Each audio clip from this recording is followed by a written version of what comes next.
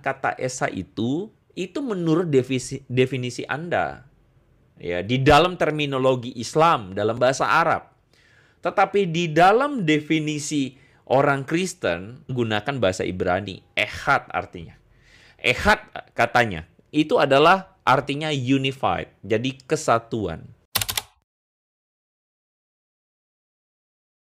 Truthfully, it's best for a Muslim scholar to uh, um, to address these questions. Um, I'm a rabbi.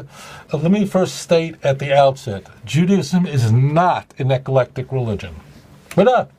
Uh, if, if you are a true monotheist, if you say that there is one God and there is no other, as the prophet Isaiah and almost every prophet, every prophet scream this, there really isn't much room for Hari Krishna. So Judaism, unlike Eastern religions, as an example, is just not eclectic. Islam uh, is also a, a complete monotheism. They worship one God. And therefore, Islam can't be eclectic. It can't be. You have Judaism and Islam, which are possibly two of the least eclectic religions in the world, Abrahamic faiths. And strangely, there is this mutual respect between Judaism and Islam which what I'm trying to the reason I point this out is it just illustrates that there's something really interesting going on here. Uh, the reason why Judaism, Judaism respects Islam deeply is because Muslims truly worship one God. Read chapter 2, verse 163, and you will understand why Muslims submit themselves to one God and no false God. See?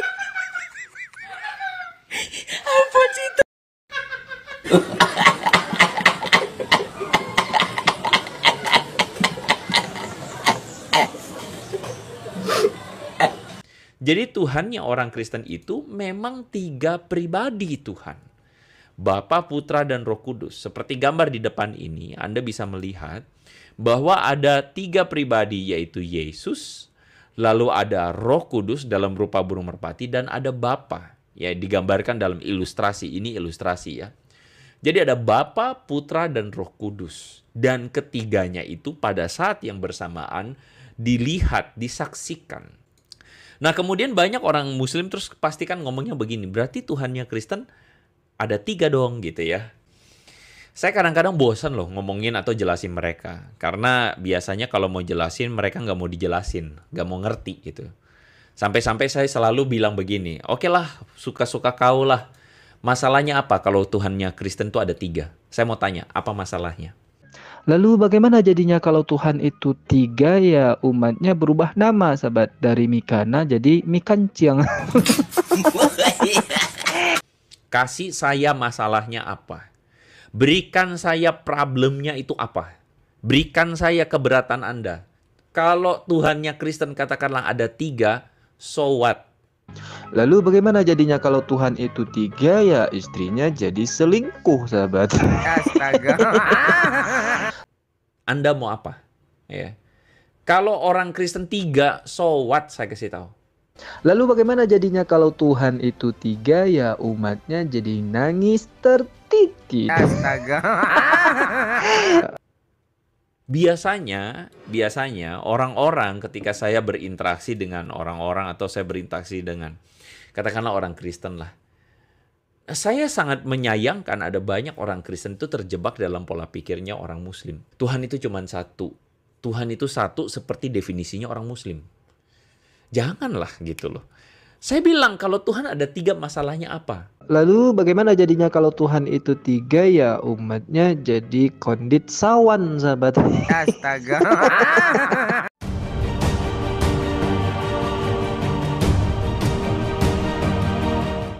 ya masalahnya adalah berarti Tuhan nggak satu kok. Lah terus problemnya apa? Kenapa Tuhan mesti satu seperti definisi orang Muslim? Kenapa?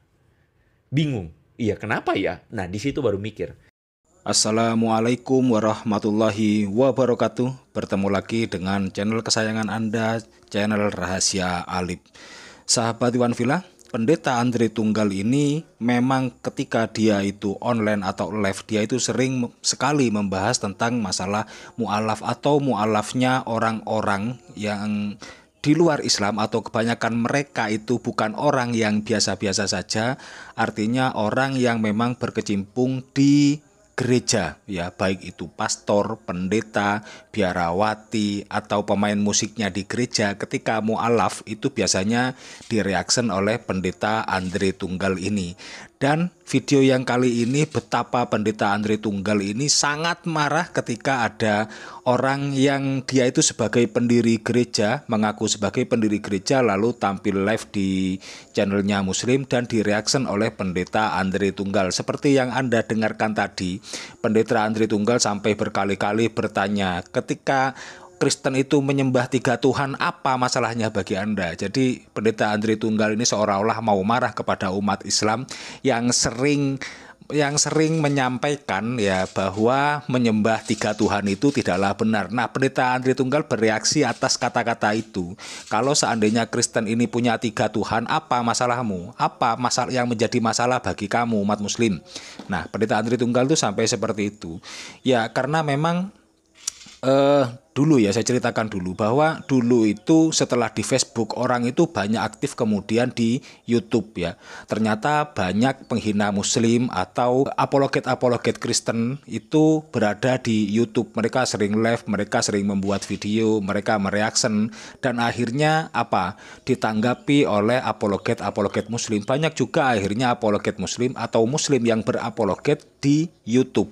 Banyak sekali hinaan, cercaan atau pemelesetan pemelesetan-pemelesetan hadis dan ayat Al-Quran oleh umat Oten RT 16 ini kemudian ditepis ditangkal oleh apologet-apologet muslim. Kemudian karena memang di YouTube itu sudah begitu rame, ricuh, banyak orang yang kemudian menjadi mu'alaf melalui YouTube ketika mereka selesai berdebat. Dan itu nggak bisa dipungkiri. Kemudian karena di YouTube ini sudah terlalu ramai ya penontonnya dan juga apologetnya terlalu banyak, kemudian banyak sekali apologet-apologet Kristen itu larinya lewat TikTok. Kenapa harus ke TikTok? Karena mereka paham bahwa TikTok itu awalnya dibangun hanya untuk hura-hura, hiburan, joget-joget. Artinya banyak sekali kaum milenial atau anak muda itu yang menggunakan TikTok Nah, mungkin itu adalah senjata bagi mereka untuk bisa lebih banyak lagi memurtadkan umat muslim dan itu segera disadari oleh umat Islam. Akhirnya sekarang apologet-apologet yang ada di YouTube sekarang menangkal indomisasi yang diterapkan mereka di dalam TikToknya itu. Dan alhamdulillah, alhamdulillah hampir setiap malam ada saja orang yang kemudian menjadi mualaf. Tadi pagi saya tadi pagi saja saya lihat di live-nya Umi Dini itu ada sekitar dua orang itu sudah mendapatkan hidayah. Tetapi saya tidak tahu mereka sudah mualaf atau belum karena saya tidak melanjutkan videonya, tidak menonton gitu ya. Tapi ya itu mereka sudah mulai tertarik dengan Islam gitu. Artinya apa? Ke mana saja Oten ini lari itu itu memberikan faedah bagi umat Islam. Mereka lari ke YouTube, kita tangkal di YouTube, eh di YouTube banyak orang yang mualaf. Kemudian mereka lari ke TikTok, mungkin mereka punya rencana besar untuk memurtadkan orang-orang yang ada di TikTok, kemudian dikejarlah mereka ke TikTok. Akhirnya apa? Hampir setiap hari dan bisa saya pastikan setiap hari ada saja orang yang mualaf di debat-debat channelnya umat muslim di dalam TikTok ini kan sangat luar biasa dan itu mengundang pendeta Andri Tunggal ini marah-marah di dalam channelnya dia. Mari kita simak sebetulnya apa yang dia marahkan terhadap live-nya uh, channel Islam yang mempublikasikan tentang bagaimana orang itu menjadi mualaf. Menjadi cerita dari mualaf Yoram ini. Mari kita saksikan sama-sama. Yoram bangkit Aprilias. Mas Yoram ini salah satu dulu perintis gereja. Betul Pak. Kalau dulu saya awal mulanya itu akhirnya muncul tiga pertanyaan. Yang pertama, ya. apakah Isa itu sholat? Ya. Gitu kan. Buktinya ya di Taman Getsemani itu, ya. dia berdoa dia maju ke sedikit ke depan lalu berdoa sehingga berkeringat darah waktu itu karena ingin disalib dia minta kepada siapa itu pertanyaannya yang waktu awal itu pertanyaan kedua sih waktu disalib Eli Eli lama sabatani kenapa Tuhan memanggil Tuhan itu yang membuat saya sangat apa ya sangat bingung waktu itu ya. pendetanya kan bilang kan Ya. Itu sudah menjadi keyakinan kan. Jika kamu percaya, kamu tidak akan banyak bertanya. Karena iman adalah dasar dari segala sesuatu yang tidak kita lihat dan bukti dari segala sesuatu yang tidak kita rasakan. Itu kan iman. Semenjak itu kan saya berpaling dari doktrin itu. ya, masalahnya adalah berarti Tuhan nggak satu kok. Lah, terus problemnya apa? Kenapa Tuhan mesti satu seperti definisi orang muslim? Kenapa? Bingung. Iya, kenapa ya? Nah, di situ baru mikir. Ya, kenapa ya? Tuhannya mesti harus satu seperti Tuhannya muslim. Ya, kalau tiga memangnya kenapa? Ya selalu itu yang disampaikan oleh Andre Tunggal berkali-kali dan ternyata video yang direaction itu adalah video miliknya Ustadz Ipung Atria dari Malang ya. Kemudian diupload di Ayah Sofia di mana si mualaf ini mengatakan bahwa dia dulunya adalah pendiri gereja dan itu ditertawakan oleh pendeta Andri Tunggal. Kembali kepada tentang pernyataan Andri Tunggal yang mengatakan bahwa kalau Tuhannya Kristen memangnya kenapa? Ya, sebetulnya sih ya mungkin Islam ini terlalu usil ya. Kenapa kalau Tuhannya mereka itu tiga terus kemudian di reaction berkali-kali gitu ya. Memang lucu dan sebetulnya kalaupun tiga mau dua mau Tuhannya sepuluh juga kita nggak pernah masalah. Bahkan di tahun 2022 itu ada seorang praktisi Yudaisme yang mengatakan bahwa jangankan Tuhan kalian tiga, kalian nyembah botol kecap juga kami nggak masalah. mau nyembah botol kecap, mau nyembah tabung gas, mau nyembah sangkar burung, nggak apa-apa. Kita ini nggak apa-apa. Karena pernyataan kalian itu yang membuat kita itu menjadi terhibur. Nah, hiburan itulah yang kita sering blow up sehingga mungkin banyak orang yang tersindir dan dengan tersindirnya itu orang jadi mikir, iya kalau Tuhan tiga lalu bagaimana ya? Karena banyak sekali pendeta yang mengatakan bahwa Tuhan itu ada pembagian tugas. Ini ini nyata ya banyak pendeta yang seperti itu. Anda bisa cek di video saya sebelum-sebelumnya itu Estrasoru juga pernah mengatakan itu. Jadi Tuhan bagian Bapa itu adalah sebagai pencipta.